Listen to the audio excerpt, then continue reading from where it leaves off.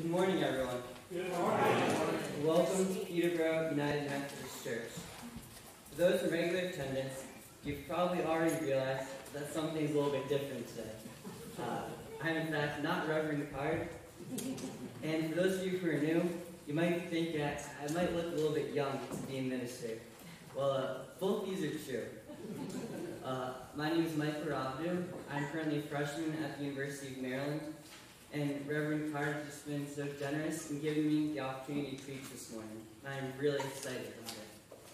So bear with me. um, I really do want to thank Reverend Carter for giving me the opportunity to be here. For those of you who have preached before, you understand that it's just such a joy to be able to hear and share God's word.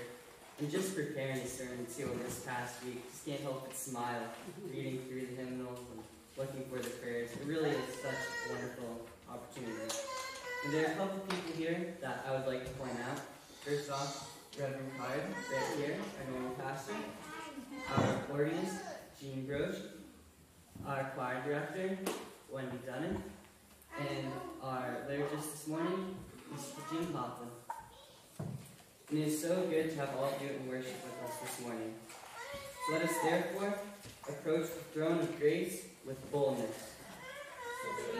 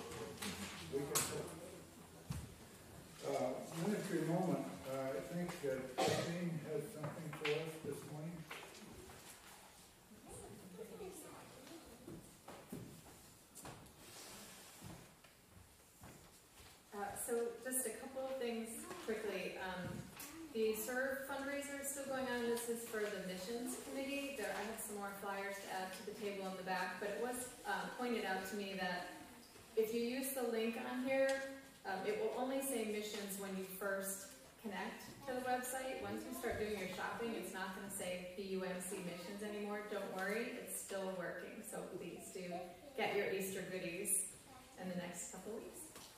Christine, can I add on to that? Sure. I made an order, and it was on my doorstep yesterday when I got back from the church meeting. So just so that you know, it's a really great service. Yeah, I think it actually comes from Maryland, so it doesn't take very long to ship, so, Amazing. Weather I was permitting. amazed. thank you. Um, so next Sunday is UMCOR Giving Sunday. It used to be called One Great Hour of Sharing. Uh, that's when we will be joining with churches across the globe to um, gather donations for UMCOR, and I'm just going to tell you a little bit more about them this week in preparation for next week.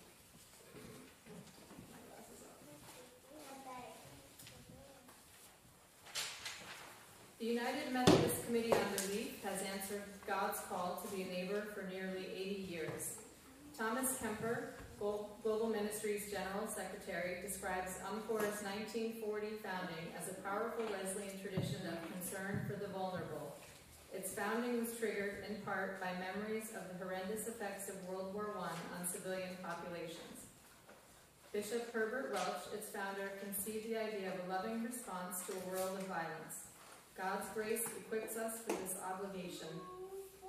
Although the Methodist Committee on Overseas Relief concentrated its first efforts on relief for war-displaced communities in China, it wasn't long before the agency partnered with other ecumenical responses to serve displaced people in Europe and other regions affected by the war. After the war, receiving relief was not dependent on whether the survivor's country of origin was an aggressor or a defender. Refugees held as prisoners on all sides received aid from MCOR through an ecumenical partnership. Today, UMCOR continues this tradition and work with immigrant communities and refugees globally. In the past year, UMCOR has received partners, has supported partners in Iraq, Syria, South Sudan, Armenia, Bangladesh, the Philippines, Ecuador, Haiti, and Nicaragua, and some others. Along the U.S. and Mexico border, UMCOR grants assist U.S. churches and partners addressing migrant needs on both sides of the border. In 1948, the Methodist Relief Agency's mandate expanded to include rehabilitation, which implemented long-term development work intended to rebuild communities after conflict or natural disasters. UMCOR's current sustainable development programs encompass agricultural development, disaster risk reduction, health projects, water and sanitation projects, and renewable energy solutions. The combination and integration of these programs assists communities to build back better after disaster. Vulnerable communities affected by climate change have also become a growing concern. Currently, we have, there are several active responses taking place, some you've probably heard about already. Um, UMCOR approved three $10,000 solidarity grants for the people of Mozambique, Zimbabwe, and Malawi after Cyclone Idai. These grants are providing immediate emergency funding for basic human needs, including food distribution, hygiene supplies, clothing distribution, safe water access, and temporary shelter. Disaster assessments are being conducted and further response is under development. Recovery from Cyclone Idai's destruction will take a long time. And I can tell you, I volunteered in, um, with Nancy Luscombe a few years ago, and it was about five or so years after Hurricane Katrina, and UMCOR was still there working, so they are in it for the long haul. They are also working in the Midwest, that's just been happening um, this week, we've heard more about it. Uh, they're in close connection with annual conferences responding to the severe weather. The Great Plains Conference was awarded a $10,000 solidarity grant, and UMCOR is beginning assessments on how to best support relief efforts. Assessments are ongoing in the Iowa Conference, and UMCOR is supporting them with emergency response team train the trainer courses. I'm gonna shorten this bit. um, meanwhile, recovery efforts in Alabama West Conference in Florida uh, continue after the March 3rd tornado outbreak in Lee County. Alone, volunteers are assisting by providing hospital care, overnight shelters, food supplies, and financial support. They sent a trailer of supplies and issued a $10,000 solidarity grant immediately after the storm. They're also still working in California to help assist people that are recovering from the wildfires last year. Um, for more than 50 years, United Methodist congregations have been taking part in this special UMCOR Sunday offering, laying the foundation for UMCOR's ministry of relief and hope. Next Sunday, March 31st, we'll join other Methodist churches around the globe in this tradition. Donations that UMCOR receives through this special offering next week along with other undesignated gifts made throughout the year, cover their costs of doing business. Gifts like yours make it possible for UMCOR to use 100% of all other contributions on the projects that donors specify, instead of on administrative or fundraising costs. Because they keep operating costs under 10% of their total budget, undesignated gifts may actually exceed UMCOR's administrative needs. When that happens, your support is channeled to underfunded programs where they're most needed, and it also allows them to respond to disasters immediately after an event and before funds can be raised. So look for the special envelope next week in the bulletin, and I would encourage you to support UMCOR's missions. Thank you. Janet, do you have something?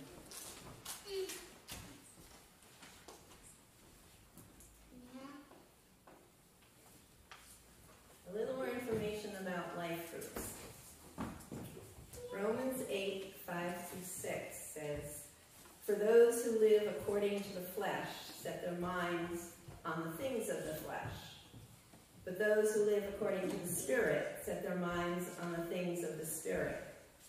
For to set the mind on the flesh is death, but to set the mind on the Spirit is life and peace. So why is it that we spend so much time taking care of our bodies? Making sure we get enough rest, we watch our diet, we try to exercise. We tend to neglect our souls. Jesus secured much more than the forgiveness of sins, as wonderful as that is, and eternal life. He really came so that we could have new life right now. We don't have to wait till we die. Um, there are a lot of books and studies that tell us about Christ, but a life group will teach you how to be taught by Christ. Um, Daryl and I have a daughter, Julia, who she loves cello music, and in her 30s, she decided to take cello lessons. Well, she could have watched a video of Yo-Yo Ma and said, okay, he positions his cello like this and he holds his bow like this. So I think if I just copy him, I can get it. But do you think she'd sound like Yo-Yo Ma? I don't think so. it takes years of practice. And success at specific moments in life depends on a lifetime of practice. So if we want to respond in a situation with a kind word instead of an angry response, maybe when someone cuts us off on the highway or, or those, those situations that just trigger you, there's, there's a whole foundation that has to be laid in order for that to take place, in order for that right response to be there at the tip of your tongue. So, Yo-Yo Ma is a fine model as you're studying.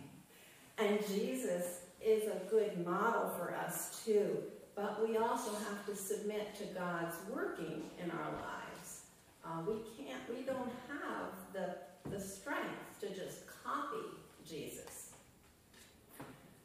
If we believe in Jesus, surely we believe he knew how to live. So this study that the, the um, life groups will be based on is um, based on becoming Christ-like by following his example. So it looks at the spiritual disciplines that Jesus practiced. He, he spent time in prayer. Um, solitude was important. He would go off by himself. He went off for 40 days by himself. He um, he, uh, he helped people all the time. These were the things that he did. And this study aims to teach us how to uh, how to uh, practice the same kinds of things that Jesus practiced in his life and to allow God to work in us through those activities. Now this is called a spiritual formation workbook. And I don't know if all of you are familiar with that term. I have a definition I like. Spiritual formation is the process of being conformed to the image of Christ for the glory of God and for the sake of others. Basically, it's a journey through which we open our hearts to a greater connection with God. And it's the Holy Spirit who guides us on that journey. In Ephesians 4, uh, verses 22 and 24, Paul tells us to put off our old self, to be renewed in the spirit of our minds, and to put on the new self. So we have give the Holy Spirit time to replace our old self-centered ways with new godly ways and and spiritual disciplines give us an opportunity to put ourselves in a position for God to work on us. It takes it takes spending time with God. There aren't there aren't any shortcuts in this life. Um, but a life group will teach you how to do this. So um, I've been getting a lot of questions, um, and I encourage you to read the uh, article I put in the March newsletter, which, which tells in more detail about what this opportunity is. It is, life groups are designed to be ongoing groups, but what I am offering is an introductory course of nine weeks, which will um, teach the different disciplines and will explain how a life group operates. And at the end of the course, you have the option of continuing with the life group or just saying, okay, I know what it is, I don't think that's something for me. Um, but even, even if you don't continue, you'll have a wealth of knowledge about how to, um, in, in, um, how to grow closer to God in, in your own practice, but it's so much easier with the support of a group. Um, so there, there, isn't anyone here who wouldn't benefit from joining a life group. Um, there are no requirements other than to desire to, to grow spiritually. So I challenge you to look at your schedule and, and to um, challenge yourself to, to, to really uh, pursue that life that is truly life that, that uh, Jesus talked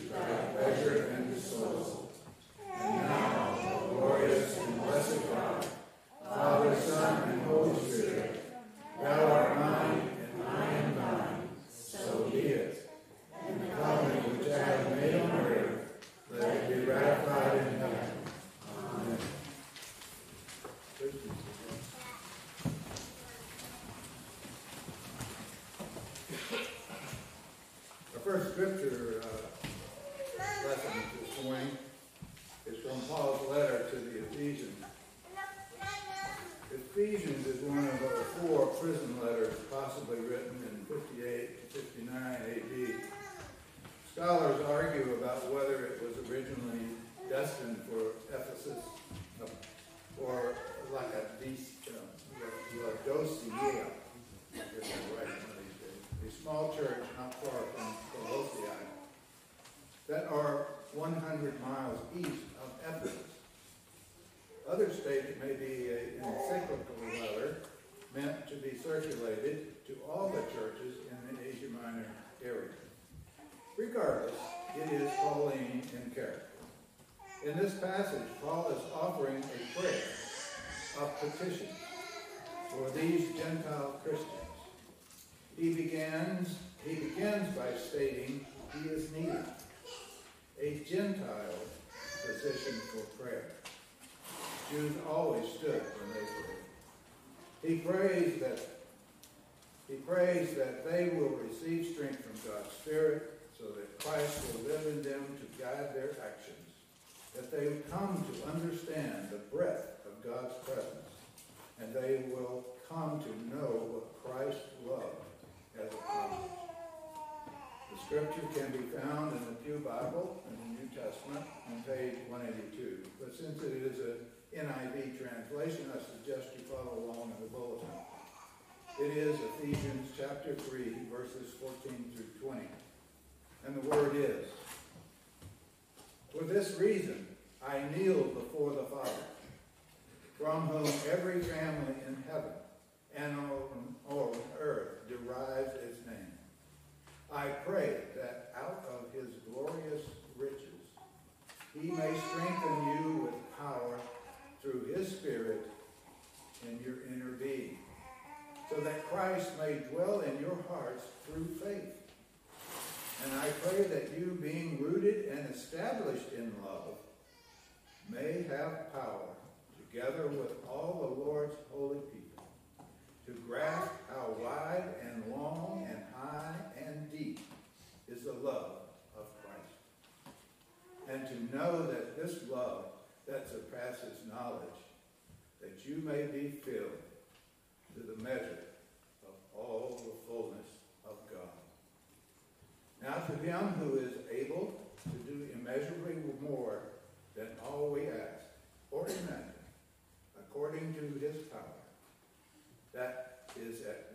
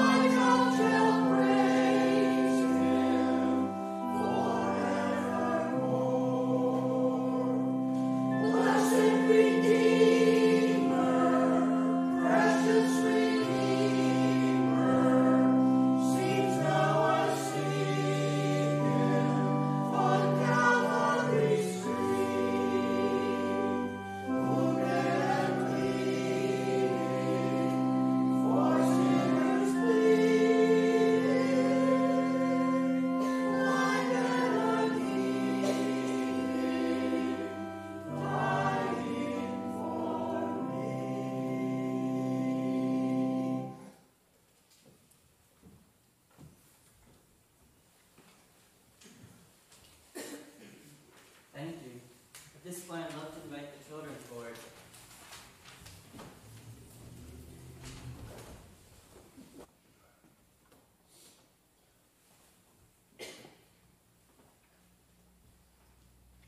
Please go to me in prayer.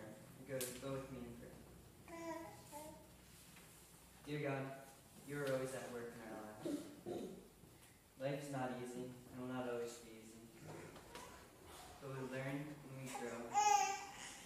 newer windows.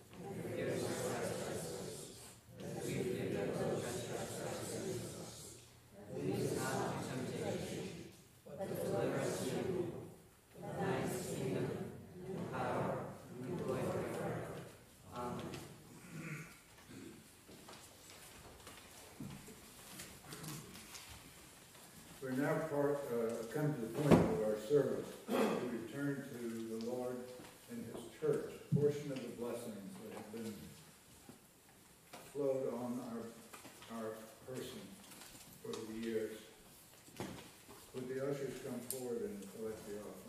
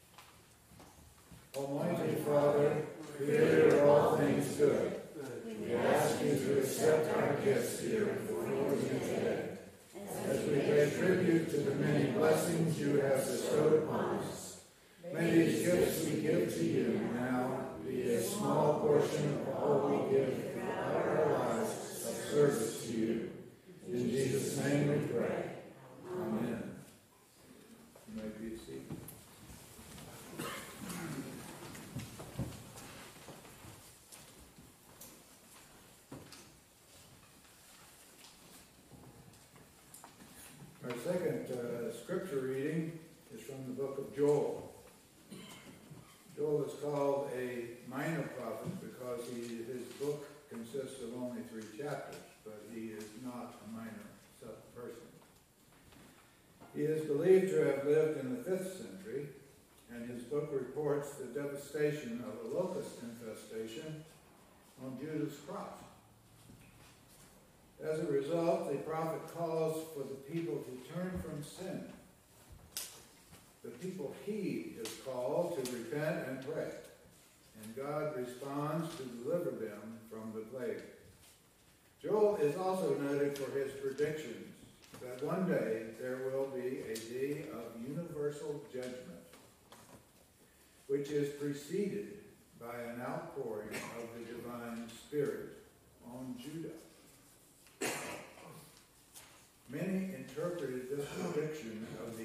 Coming of the divine Spirit as Pentecost, when the Holy Spirit descended upon Christ's disciples in Jerusalem. We are still awaiting the universal judgment. In this passage, Joel pleads with the people to return and seek mercy for their transgressions, because it is not too late to ask for forgiveness. Joel goes so far as to quote Exodus 34 6 to make his point. If you want to follow along in the View Bible, the reading can be found on page 798 of the Old Testament. But since this is an NIV translation, I suggest you follow along in the bulletin. For Joel chapter 2, verses 12 through 14. And the word is, Even now, declared the Lord, return to me with all your hearts, with fasting and weeping and mourning. Read your heart and not your garments. Oh, pardon me. Rend your heart and not your garments. Return to the Lord your God, for he is gracious and compassionate, slow to anger and abounding in love, and he and he relents from sending calamity. Who knows? He may he may turn and relent and leave behind a blessing grain offering and drink offering for the Lord your God.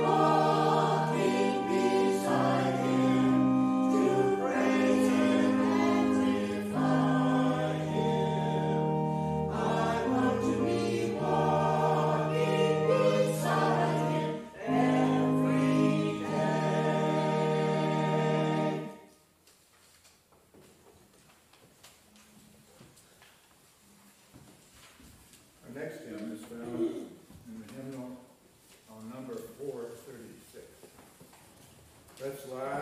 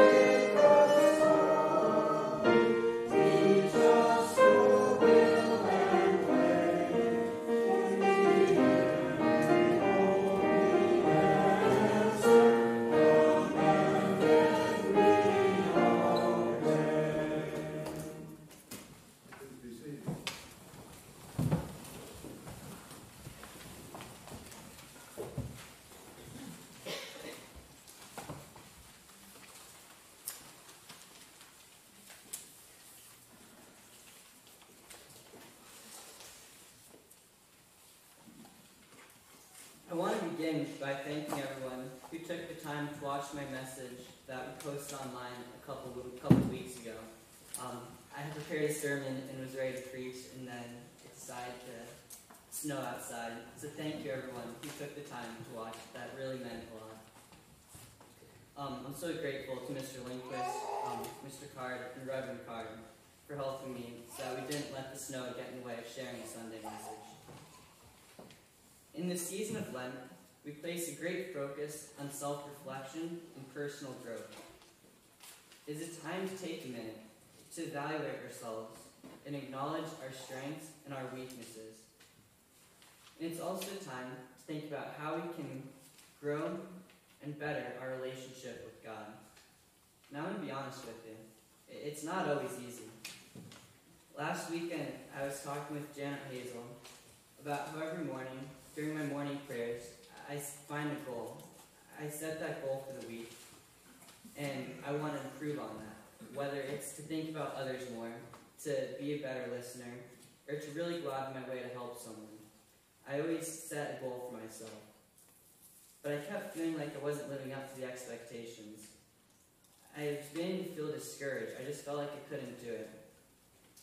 And I think there's times when all of us feel discouraged, and as if we're not meeting the goals or the challenges that are ahead of us. And none of us are perfect. None of us are strong enough to face these on our own. That is okay. Today, I want to preach to you all that we are powerful. Do not feel discouraged. We have the power and strength within us to reach our goals and to achieve our expectations and to power through the challenges. God has already blessed us with all that we need to live a righteous life.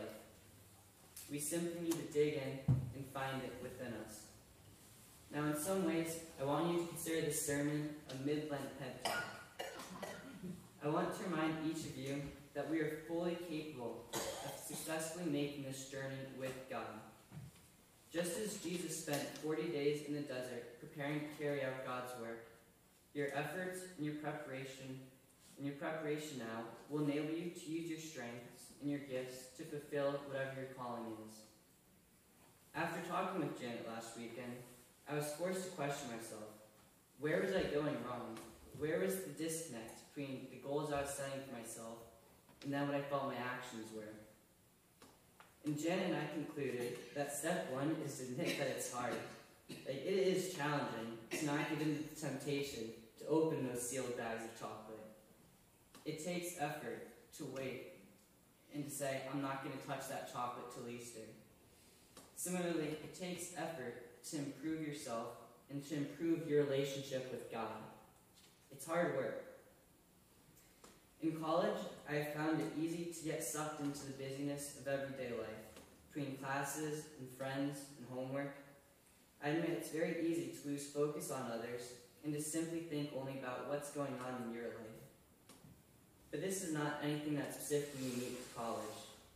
It's evident in all walks of life for all of us, and it's something that we need to be mindful of. So ultimately, it does. It comes down to effort. It requires energy and effort to make the changes you seek and to overcome whatever challenges you are facing. You need to consciously, consciously think about what it is you're facing and how you can overcome it. Even Jesus had to go on a journey of struggle and hardship to prepare himself to carry out God's work. And our lives are no different. We must put in effort to overcome the challenges and to better ourselves. But don't be intimidated by this. Don't be intimidated by everything that's going on in your life. Because you have the strength to overcome these challenges. It's already seated within you. But then this begs the question, right? Where does that power come from? And this is the title of my sermon this morning. Where is that power? I'm up here telling you, you've got this, you're strong. Great. Where is it coming from? Because I'm going to tell you right now, I know that I am not strong enough on my own to go out into the world and do all these big things. I'm not strong enough on my own to come up here and, and preach this sermon and try and touch your hearts. That's not me. So where do we look for power? This was a question that Reverend Carr challenged me with this past week as we were discussing my sermon. She asked me, what is it that makes young people like you, my granddaughter, other young members of our congregation, to pray, to come to church, while most people our age don't? What is it that motivates us to do this? And we concluded that it's about answering that call from God.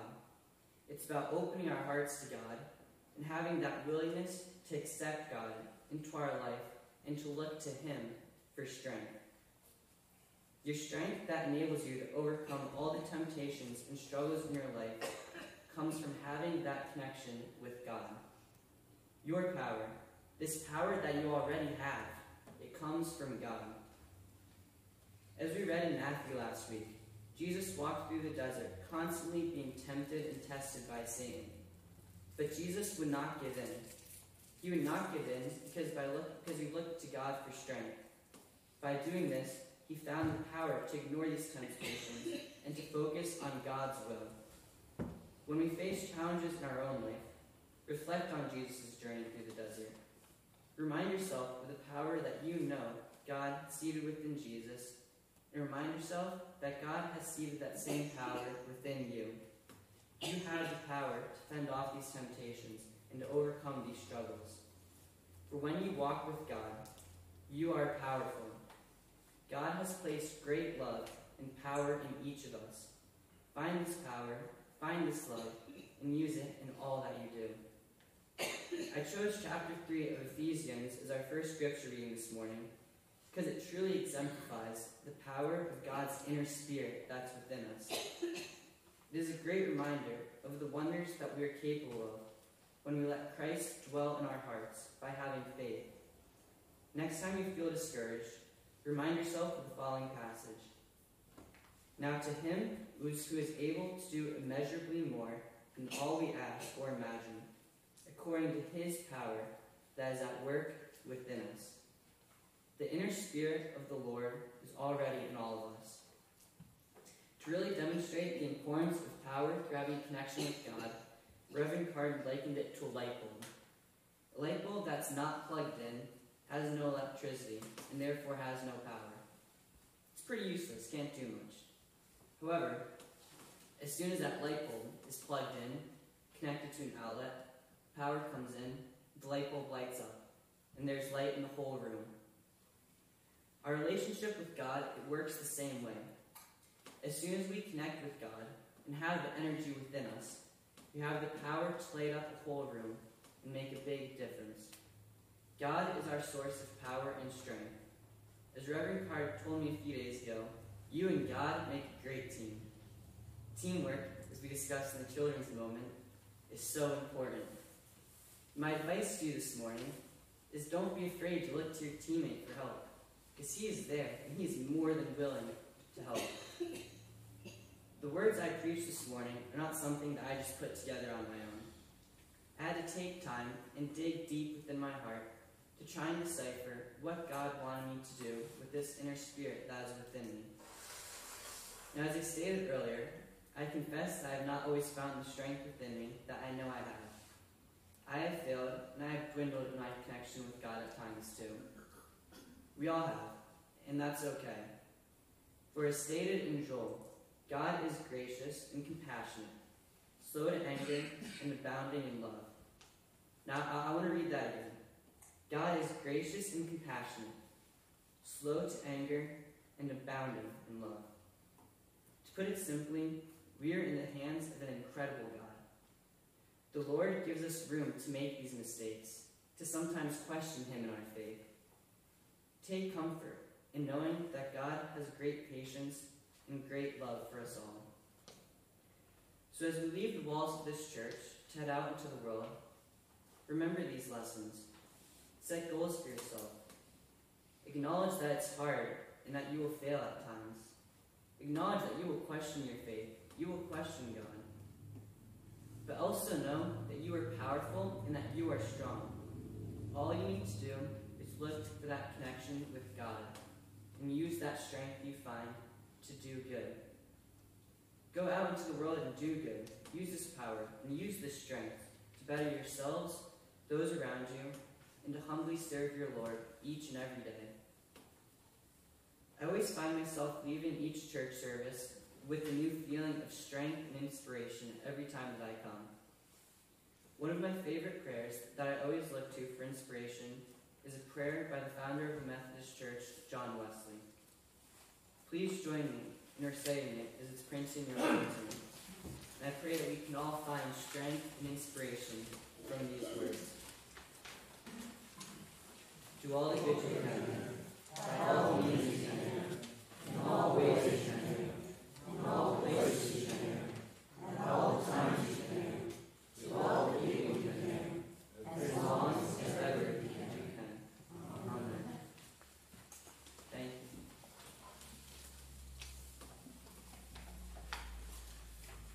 Our closing hymn this morning is an old favorite of mine, and I'm sure many of can hymn number three seventy-eight. Let's all rise as we are able